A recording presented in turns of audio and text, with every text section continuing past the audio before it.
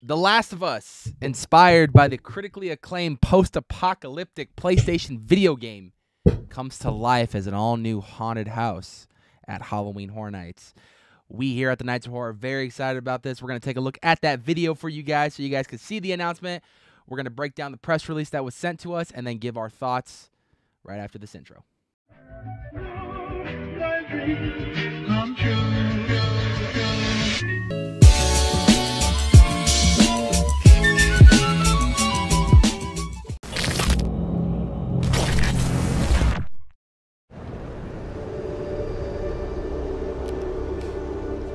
Guys, I'm telling you, it's real. Why are you so obsessed with this universal legend?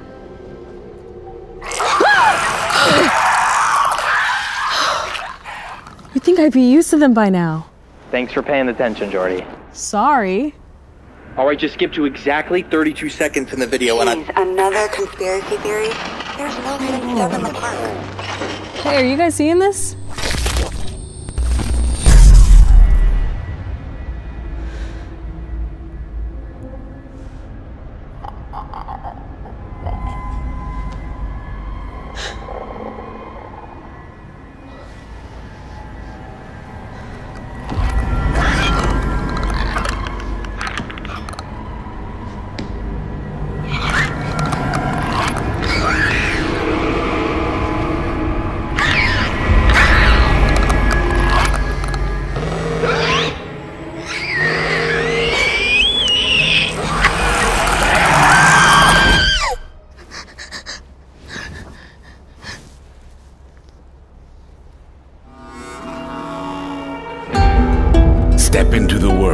The Last of Us. Only at Universal's Halloween Horror Nights.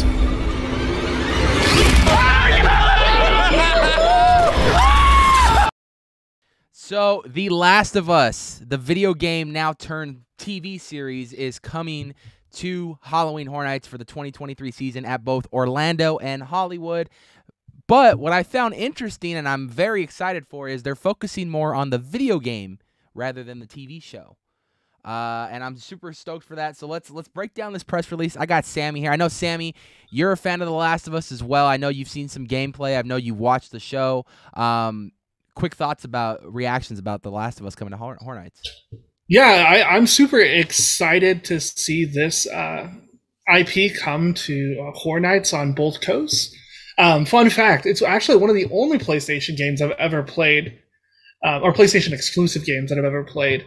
Um, was The Last of Us. I played it a, a probably now about five, six years ago. Um, I know the game's coming off its 10th year anniversary, but I played it five, six years ago. I think during one of my winter breaks when I came to visit my sister um, because she had a PlayStation 4 and I was had nothing else to do during my winter vacation. So I was like, she had to work and stuff. So while she was working all day, I would just play.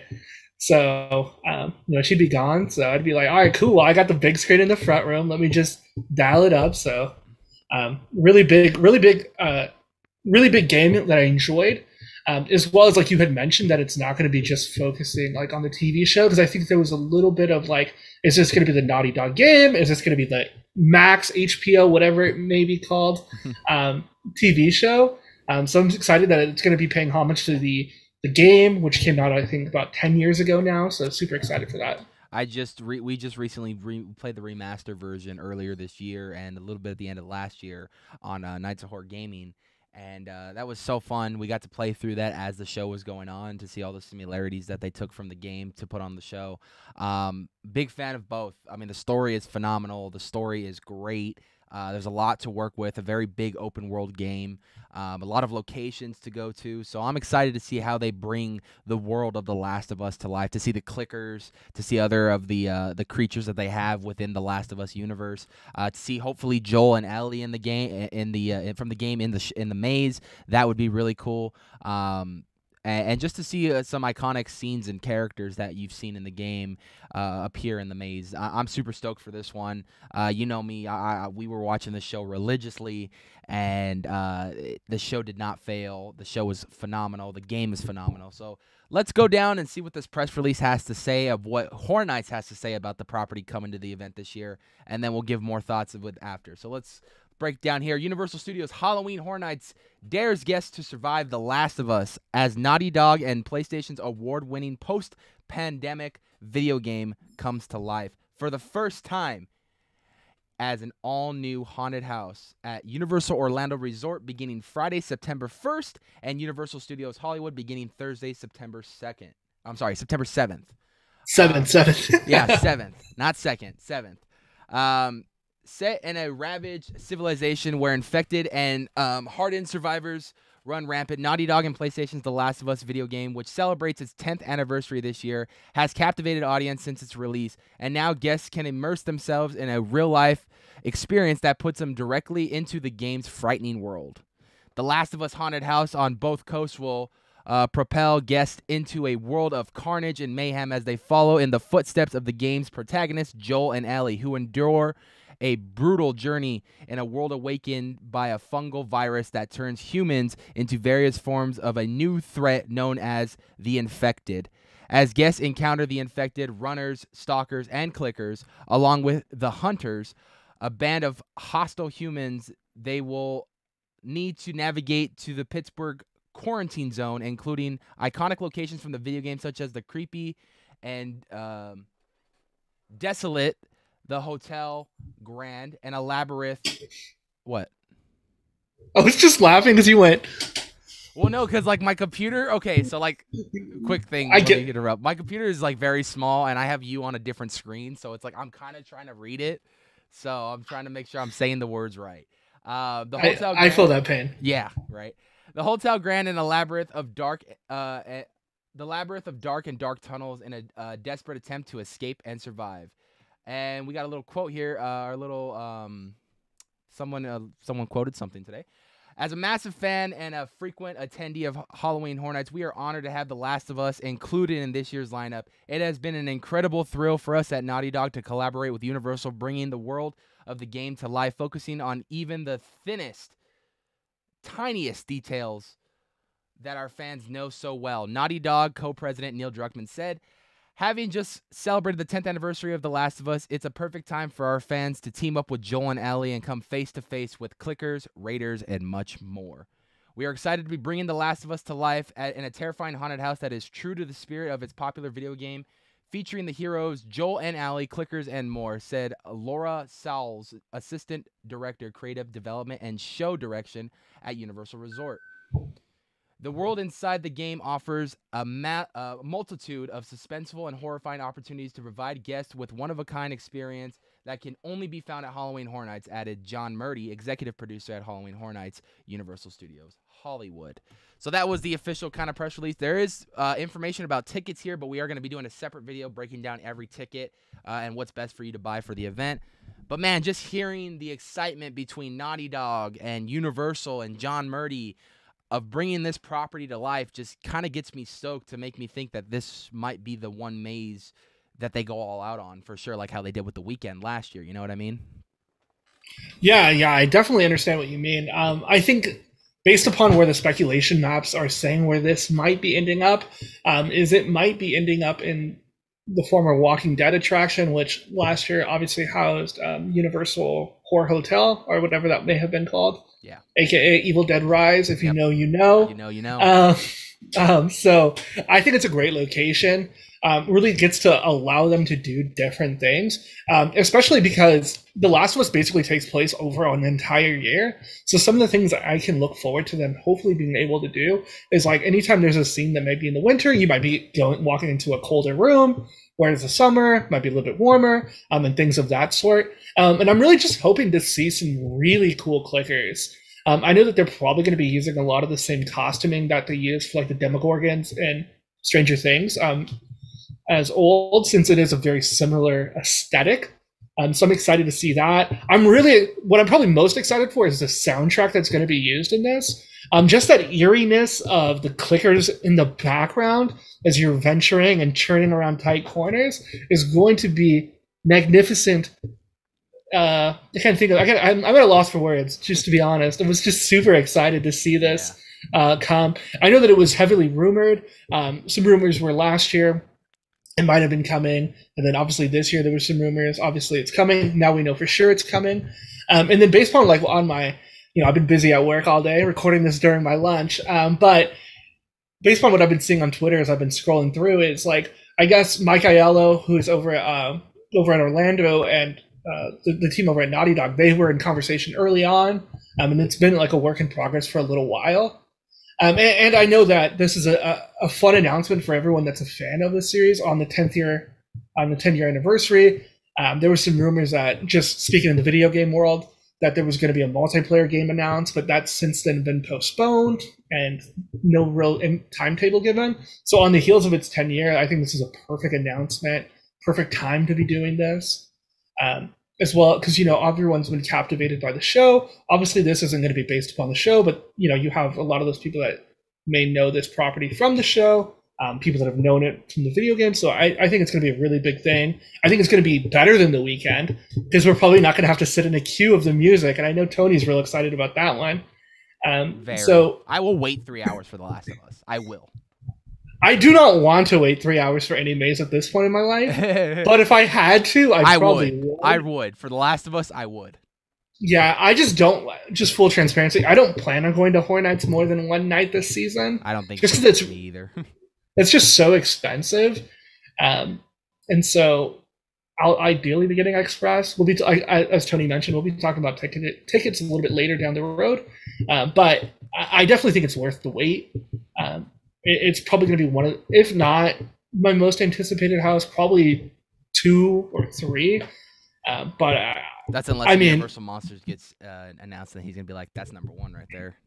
You already know. And if you watched that teaser, they said a 32 second mark. If you watch back to the okay. other teaser, so let's, way let's back about that. Then this move, they said at 32 seconds something happened. So I rewatched the video. At 32 seconds, this logo appears on her computer screen as it yes. glitches out as like something of like they're talking about a legend of some sort. Like they keep talking about this person. So are we getting an icon for both? Are we gonna start doing, you know? Cross uh cross uh promotional icons? Like are we gonna have them on east coast? Like what's happening this year?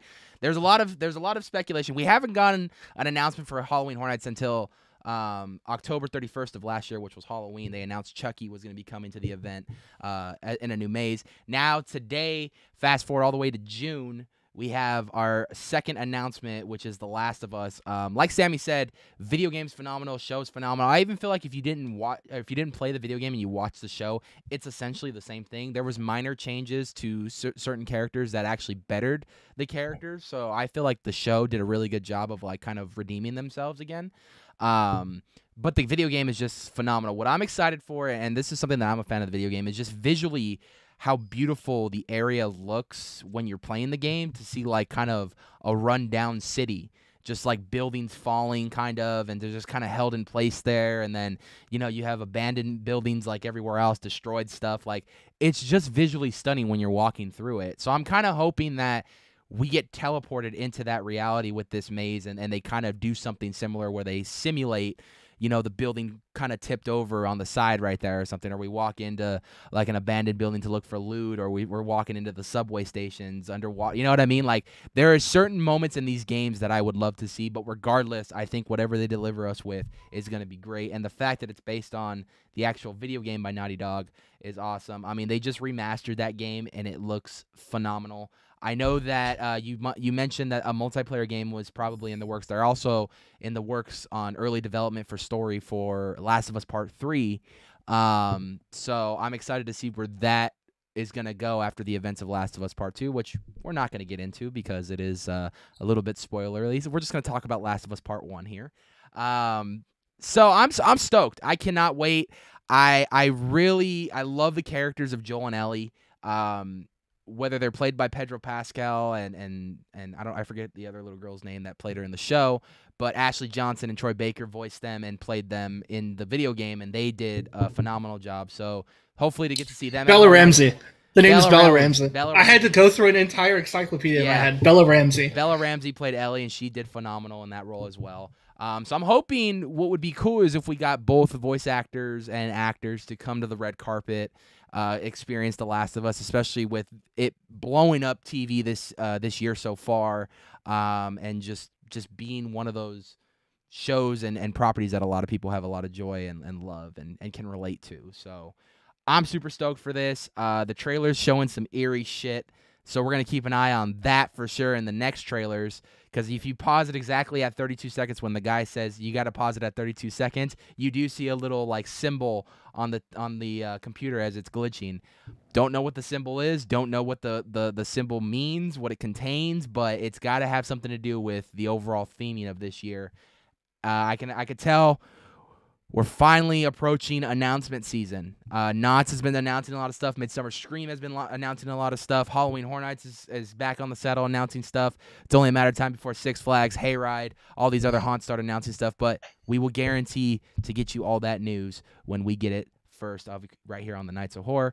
Uh, so go ahead and hit that subscribe button with that bell notification be where every time we put up a video because you're not going to want to miss out. It's looking to be a great haunt season this year. 30th anniversary of Six Flags, 50th anniversary of Knott's Scary Farm, a stacked lineup potentially at Halloween Horror Nights this year, and the list goes on and on. Um, Sammy, anything else you want to share with that excitement? Yeah, stay tuned. Um, we got a lot coming. Probably like like Tony said, these announcements are going to be coming boom, boom, boom, boom. So stay tuned. Put those bell notifications on, um, and, and follow us on socials because that's what we're going to be posting our updates in real time. Obviously, these videos might be take a little bit longer just because uh, it's a, it's a little bit more work. Um, but we, both- we um, so- have full time jobs. yeah yeah so stay tuned um, but we will we'll do our best to keep you all updated as quick as possible um, and i think we got something special for our audience don't we We do. So today, uh, we were lucky enough to be blessed with a promo code for you guys. Um, 20% off general admission tickets for Midsummer Scream. Use code Nights of Horror at checkout for 20% off up until July 1st. You can get your tickets. We want to see you guys at Midsummer Scream. Want you guys to enjoy the vibes. It's looking like it's going to be another stacked Midsummer Scream, and you're not going to want to miss that HHN panel. You're not going to want to miss that Knott's panel, that 13th floor um, panel. You're not going to want to miss the freaking. Uh, what else we got? Six Flags panel. They're going to get some good stuff. the, the lost boys minus alex winters Hey, you know what? Where was recorded Lost prior. Boys- Yeah, Lost Boys are gonna be there. Yeah, it's okay. I, I kind of saved him for that one. I, I edited Alex Winter's name out, so you didn't even say it. oh i didn't oh, okay I, I just skimmed through it i didn't have time to watch Uh, but we got a lot of stuff coming up, so stay tuned. Like Sammy said, follow our socials to keep uh, an eye out for news in real time, and we will do our best to get a video out uh, either the same day or the next day. Um, more than likely the next day, but uh, we want to thank you guys for coming. We are excited for Halloween Horror Nights, and we cannot wait. Uh, be sure to stay tuned because we got a lot of great content coming in the next week about uh, around Las Vegas, and we have another HHN video in the future for you guys. So stay tuned. With all that being said, it's been fun. It's been real fun. I don't know what i'm saying. I don't know. You were gonna say something, so I Stopped oh i was gonna oh i was gonna say i was gonna give him the hhn slogan never go alone. Never go alone because you know see you in the fog is, was was taken. Peace. Peace. I'm wearing a Hellfire hat too. I'm wearing a hellfire hat cap Ah, too. well well, well no no that's hawkins. I don't even think they have baseball in hawkins um